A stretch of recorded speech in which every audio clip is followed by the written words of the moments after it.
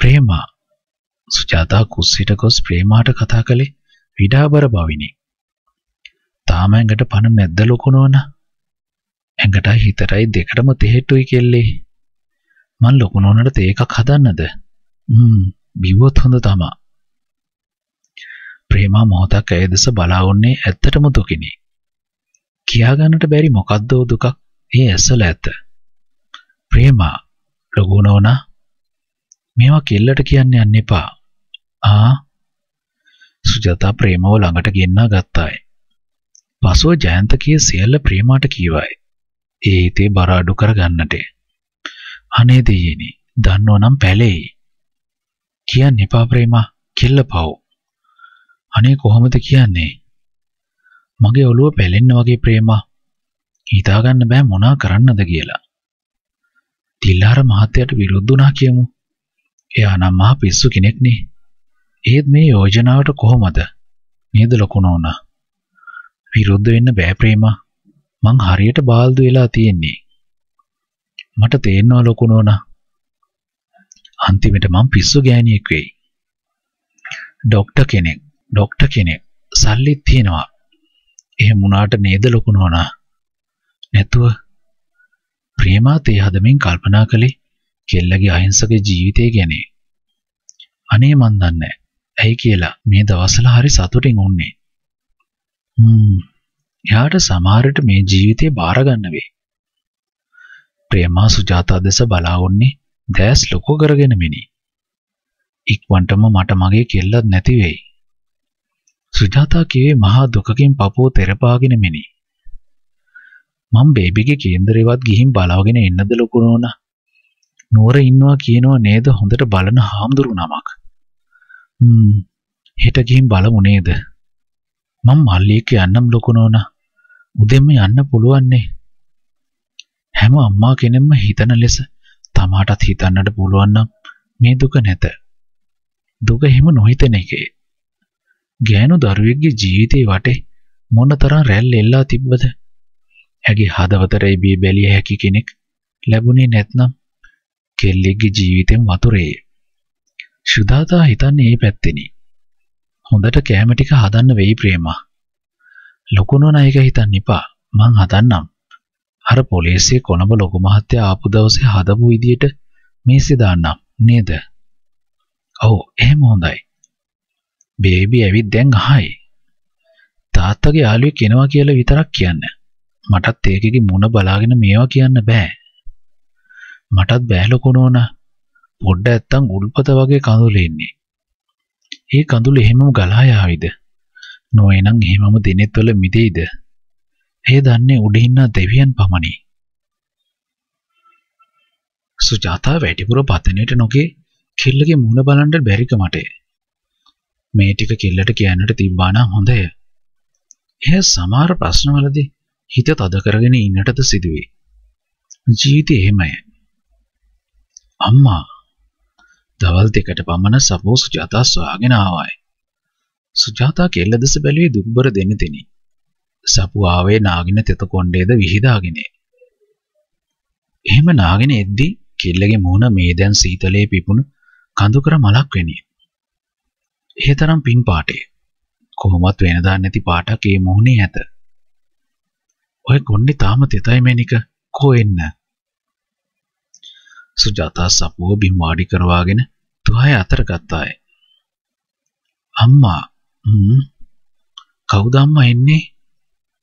මේ තාත්තගේ යාළුවෙක් කෙනවලු හවසට. ඉතින් මෙච්චර උයන්නේ. නිකන් මනමාලේ කෙනා වගේ අරය උයන්නේ. සුජාතාගේ පපුව හිරවිය. කෙල්ල ඔය මනමාලා එන කතාව කිව්වේ නිකමට. එහෙත් ඇත්තද එහෙ නොවේද? තාත්තා කිව්වේ හොඳට හදන්නයි කියලා.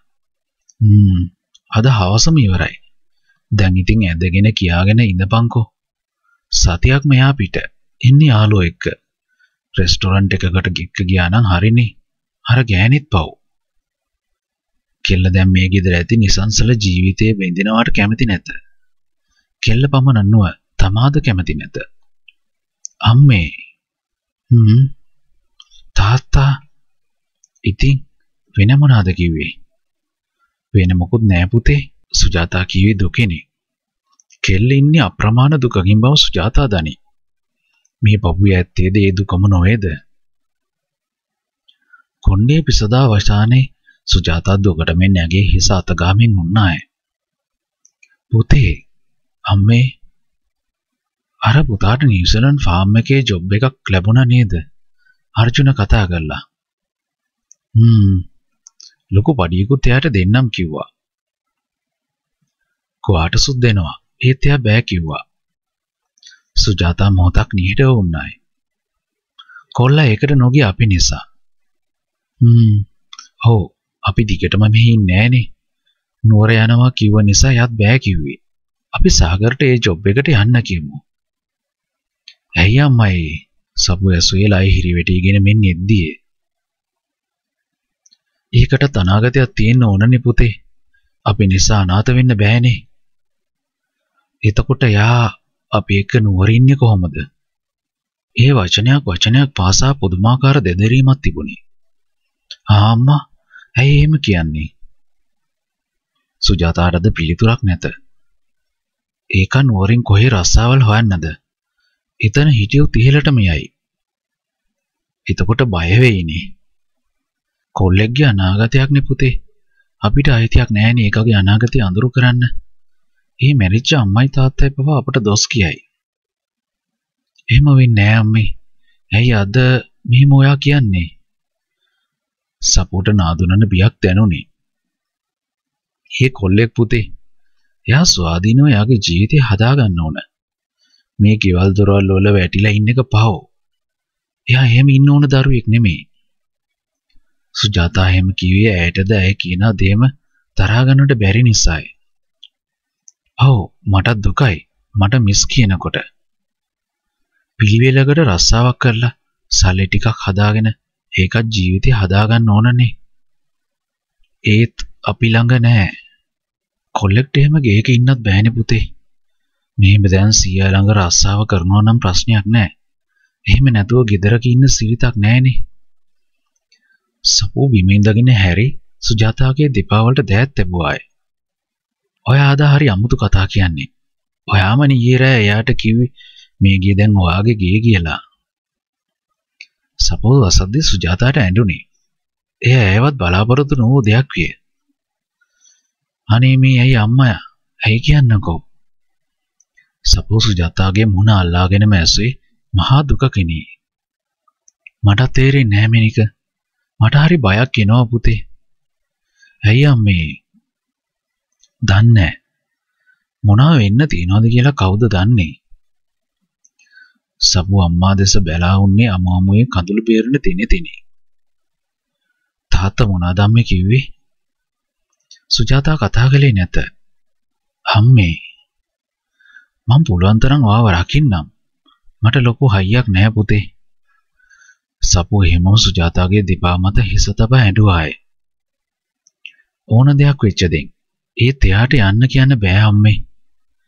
සපු අවසානට කියවේ හිස ඔසවාය. කියන්න බෑ තමයි. ඒත් එතකොට ඒකගේ අනාගතේ මෙයාගේ හොඳම වයස. මට තේරෙනවා. කොල්ලෙක්ට මේ සමාජයේ කාත් කවුරුවක් නැතුව නැගිටින්න අමාරුයි. ලොකු සටනක් කරන්න ඕන. ඒක හිතන තරම් පහසු නෑ. තනියම හැමදේම කරගන්න ඕන. හ්ම්. අපිටත් උදව් කරන්න බැරි තත්ත්වයක් ඉන්න පුළුවන්. සපෝ බිම් බලාගෙන මුන්නාය. අම්මා දෙයක් තමාට නොකියා ඉන්නා බව සපෝ දනි. ඇය නොකියන්නේ තමා ගැන සිතා බව සපෝ දනි. එහෙත් මොකද්ද නුහුරු දෙයක් සිදුවීගෙන එන බව ඉවෙන්ෙන් සපෝට දැන්වේ. එයාට අපේ ගෙදරින් යන්න කියන්න ධම්මේ. ඒ කතාවෙන් සුජාතා හිරහැටි ගියයි. අනේ එහෙම කරන්න එපා. මං කිව්වේ දවසක අද නැතත් එයාට යන්න වේවි කියලාද? ආම්මේ. සුජාතා කතා කළේ නැත. දෙදෙනාම සෑහෙන වෙලාවක් නිහඬ වුණෝය. පව්. සපු සෑහෙන වෙලාවකට පසු තික සුසුමක් කියලා කීවායි. පව් තමාද නැත්තම් ඔහුද නොවේ නම් දෙදෙනාමද කියා සපුට තේරෙන්නේ නැත. එයා කවදාරි තැනකට එයි. මං දන්නවා පුතේ. එන්නත් ඕන. එයා වගේ කෙනෙක්ට හරියන්නේ නැත්තම් මේ ලෝකෙ දෙයියෙක් කියලා කෙනෙක් නැහැ. කිල්ල ඔහු ගැන කතා කරන්නේ පුදුමාකාර භක්තියකිනි. අම්ම කියන්නේ ඇත්ත. එයා මෙහෙම වෙඩලා දුක් විඳින්න ඕන නෑ. එයා වගේ කෙනෙක් මෙහෙම වෙඩලා ඉන්න ඕන කෙනෙක් නෙමෙයි. සුජාතා කතා කළේ නැත. එයා දවසක තැනකට එයි. එදාට මං එයා දිහා බලලා සතුටෙන්නම්. ඒ ඇති අම්මේ හොඳ කෙනෙක්නේ. සුජාතා තොල්පට තද කරගෙන උන්නේ ඇඬේයි බිහිනේ. තව ටිකකින් තාත්තයි. හ්ම් එයා මෙහෙ පේන්න ඉන්න හොඳ නෑ නේද? මං එහෙම කියන්නේ නෑ පුතේ. ඔයා කවදාවත් එහෙම කියන්නේ නෑ කියලා මං දන්නවා. මං හිමීට එයාට කියන්නම්. කොල්ලගේ හිත රිද්දන්න එපා. එයා හිතන් උන්නේ මේ ගෙදර එයාගේ ගේ කියලා. අපි එයාගේ කට්ටිය කියලා. අපේ මල්ලියාගේ මල්ලි කියලා. ඔයා එයාගේ අම්මා කියලා. සපු කීවාය. ඈ ඈ ගැන කීවේ නැත. ඔහු තමාගෙන සිතාගෙන ඉන්නේ ඔහුගේ කවුරු ලෙසදයි ඈ දන්නේ නැත. ඔයා මං වෙනුවෙන් තාත්තා එක්ක රණ්ඩු කරගන්න එපා. මොන වුණත් තාත්තා ඔයාට ආදරෙයි. අපරාදේ එයත් එක්ක කතා කළේ. මම දිගටම හිටියා වගේ ඉන්න තිබ්බා. සපු ওই ටික කියා නැගිට්ටාය. සුජාතා කෙල්ල දෙස බැලුවේ කඳුළු බිරි දෙන්නේ දෙනි.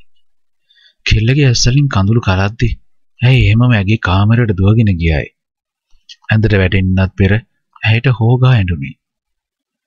අන්ධකාර ආගාධයක තමා තනිවී ඇති බව සපුට දැන්නේ. ළඟ ළඟම එන කුණාටුවක හඬ ඇයට යාන්තමට ඇසෙන්නට විය.